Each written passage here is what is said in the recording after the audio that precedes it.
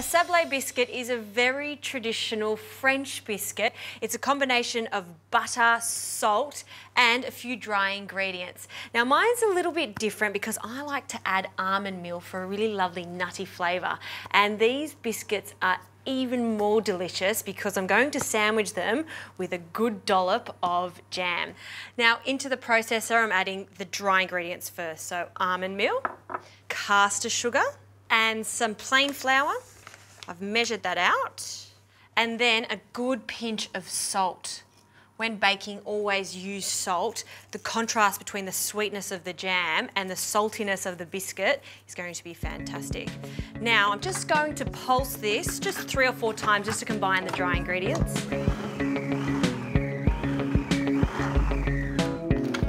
Fabulous. Now the butter goes in and I'll form a fine crumb. Then I'll add two egg yolks.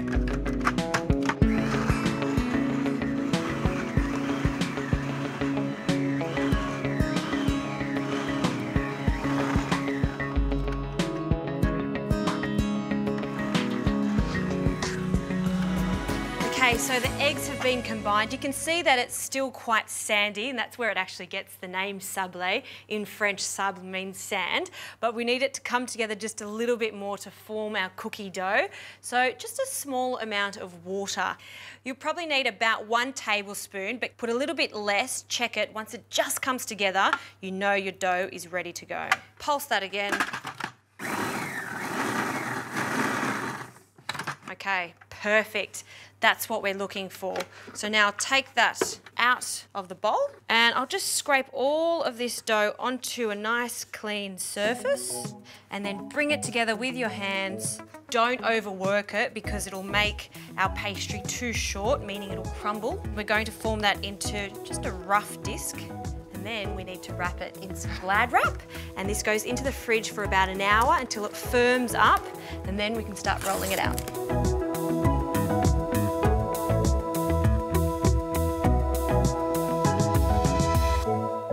Taken the dough out of the fridge and now we need to take it out of the glad wrap. I've also just warmed it up a little bit with my fingers so it's easier to roll out. And before I place it on the board, a little bit of flour just to dust, just so it doesn't stick. And then I'll cut this dough in half and we'll start with one piece and just use your fingers just to spread it out to form a round disc. And now with a rolling pin, we're going to roll it out so it's about three millimeters thick. Now when working with dough like this, you do want to work quickly because if it warms up too much, it's going to be quite sticky. Once the first half of the dough is rolled out, I'm going to use two cookie cutters. So this one's a five centimetre cookie cutter and this one's a 2.5 centimetre cookie cutter because I want to make rings. So this will be the base of it. I'll just show you one. And now to make the top of this sablé sandwich, we need to cut out another five centimetre ring. And then using our 2.5 centimetre ring, we'll just cut out the centre just like you would do for a donut. So that's the first one done. Now I need to make eight of each of these and then they go into the oven for about eight to 10 minutes on 180 degrees.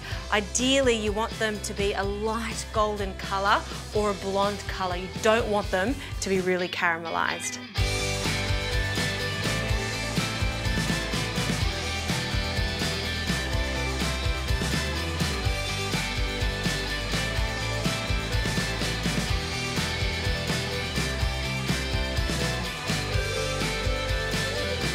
Now the sablé biscuits have come out of the oven and I've allowed them to cool completely. You can see there's not too much colour on the biscuits. They're quite blonde and because I've let them cool down, they're nice and firm. So now for the fun part, which is making the sandwiches.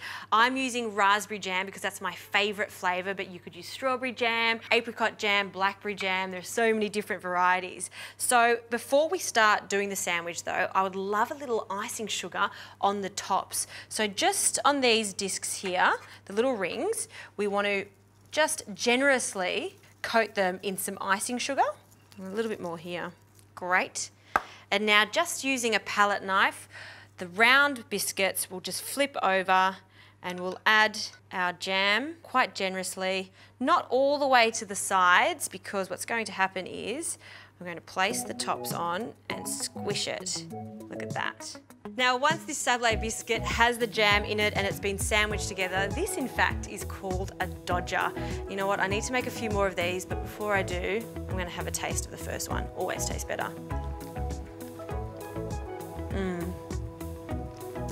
That's one seriously delicious biscuit.